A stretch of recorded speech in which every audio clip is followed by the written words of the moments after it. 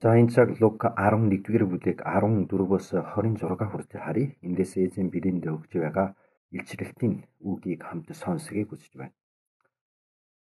Энд унших юм бол нэг явдалтын тухай ярьж байгаа юм а. Есүс хэлэхгүй дүлий морин сүнсийг зайлуулсан явдалаар намжуулаад Бурхан бидэнд хитэн хитэн сургамжийг өгдөг.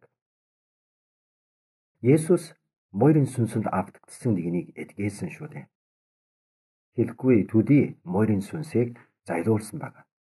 Олон хүмүүс гайхсан. Тэгээд эзнийг алдаршуулсан байна.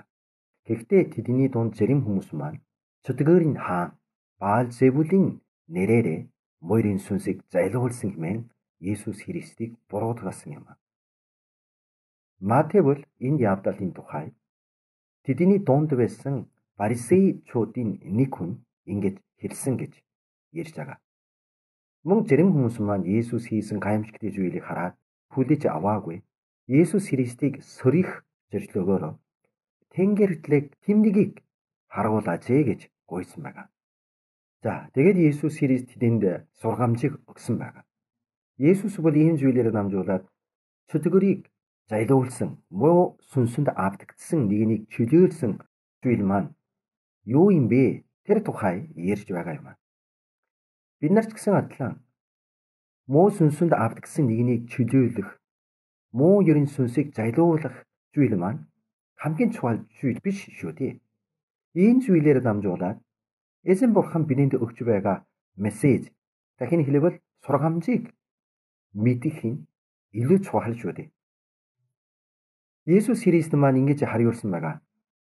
Чөтгөр чөтгөрийг зайлуулах нь зөв үү? Морийн сүнсийг зайдуулах зүйл маань сүнсний дайм буюу сүнсний encounter уулзалт юм.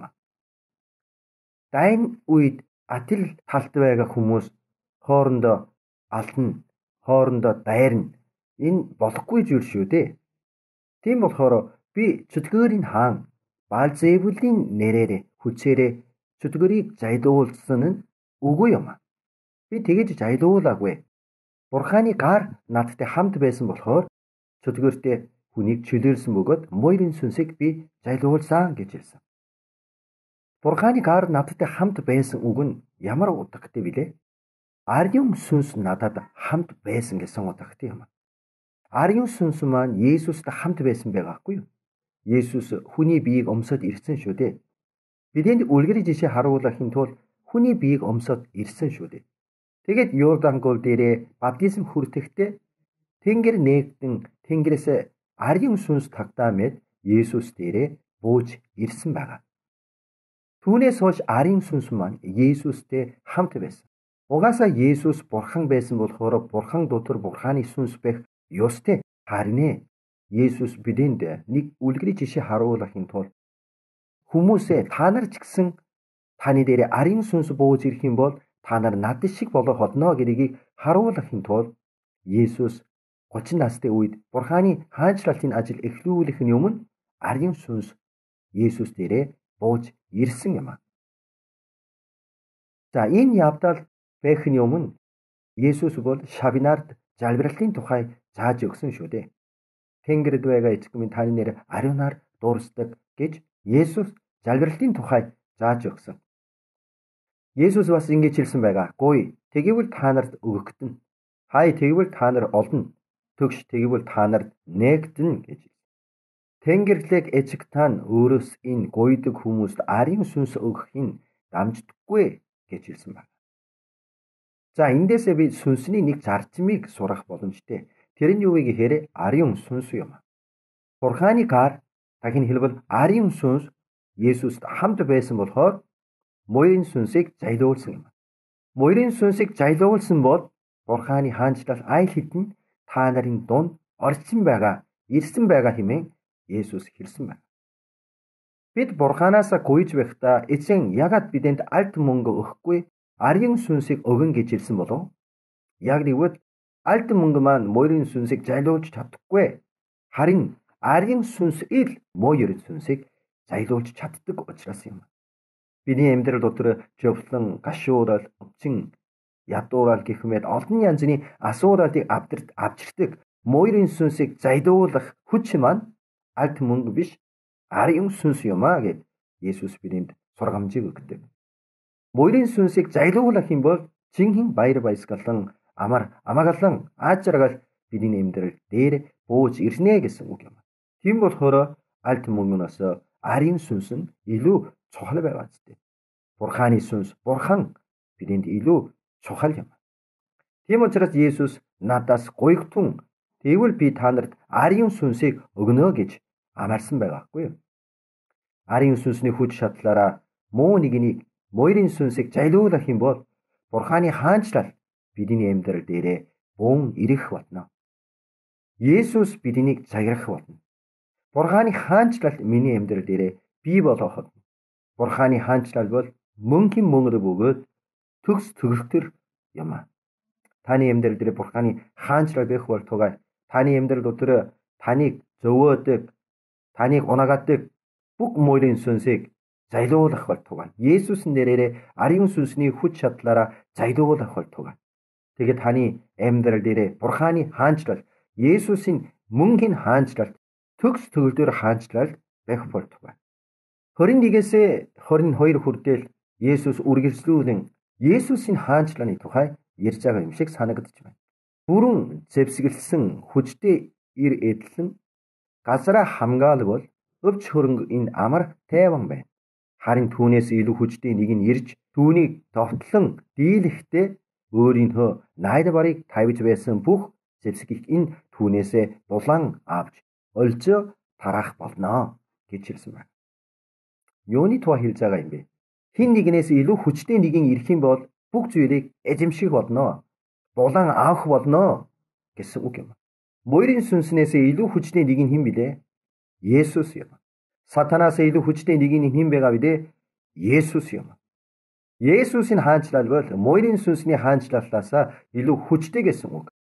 Арын сүнсний хүч чадлаараа морийн сүнсийг зайлуулах юм бол тэр хүн маань чөлөөлөгдөх бөгөөд тэр дотор Есүсийн хаанчлал оршин байх болно гэсэн утгатай юм. 23 дээр Есүс ингэж хэлсэн байгаа. Надтай хамт байдаггүй хүн миний эсрэг байна надтай хамт хуваалцдаггүй хүн бол тараагч нэгэн мөн гэж хэлсэн. Бурханы хаанчлалтыг бий болгодог дэмжлэг үзүүлээ Бурханы хаанчлал дотор ордог хүн гэж байгаа. Бурханы хаанчлалт саад хийдэг хүмүүс гэж байгаа гэсэн. Бурханы хаанчлалтыг тараагч нэгэн байна гэсэн үг. Тэр нь хинбэ? Мэдээж морийн сүнс юм.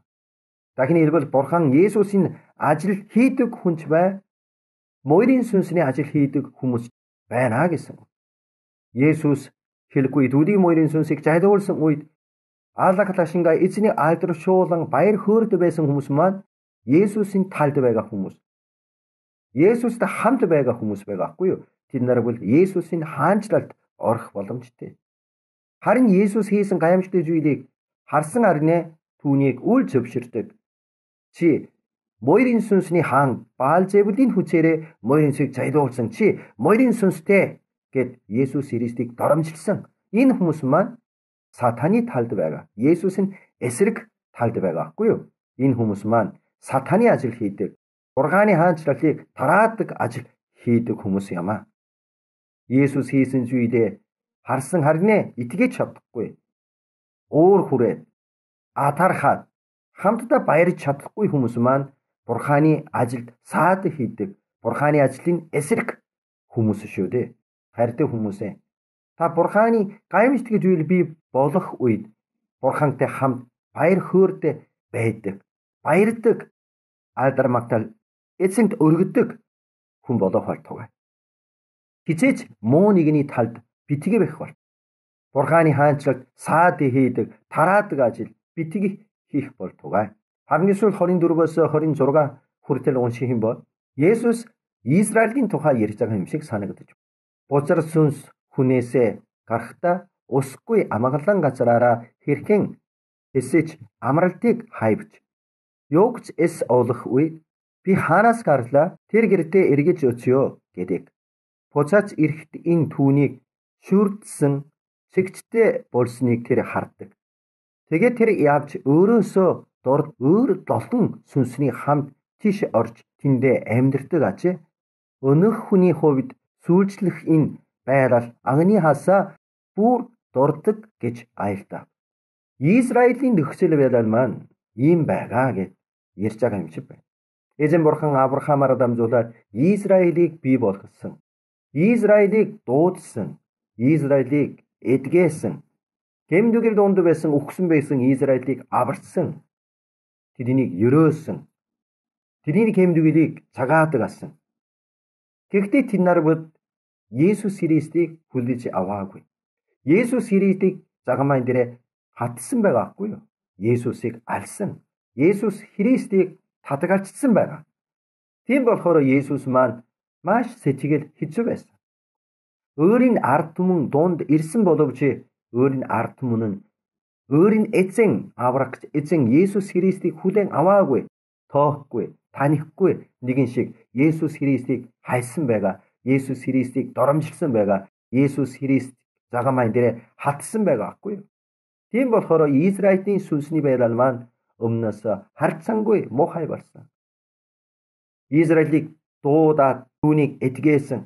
Түүнийг дуудах үеийн нөхцөл байдлаас одоогийн нөхцөл байдал илүү муухай болсон гэд ярьж байгаа юм шиг санагдаж байна. Бид нар ч гэсэн атлаа. Бид бурханы нэгүслээрээ аврагдсан шүү дээ. Бид бурханы нэгүсэл дотор аврагдсан болохоор энэ нэгүслийг сайн хадгалах хэрэгтэй. Мойрын сүнсийг Есүс эдэг зайлуулж өгсөн. Миний амьдрал дотор байсан мойрын сүнсийг хон зайлуулж надад эргэж хөлөө гэсэн. Тийм бол би арионараа амьдрах хэрэгтэй. Арионараа амьдрахын тулд хийцэх хэрэгтэй. Бурханы нэгүсэл доон эзний орчин хой доон амьдрахын тулд хийцэх хэрэгтэй шүү дээ. Тэгэхгүй юм бол бидний дотор мойрын сүнс илүү хүчтэй мойрын сүнс миний дотроо орж ирээд намайг эзэмших болно. Хайртай хүмүүсээ одоогийн үеийнхэн үнээрээ бозралгдсан үеийнхэн гэж хэлэх болно.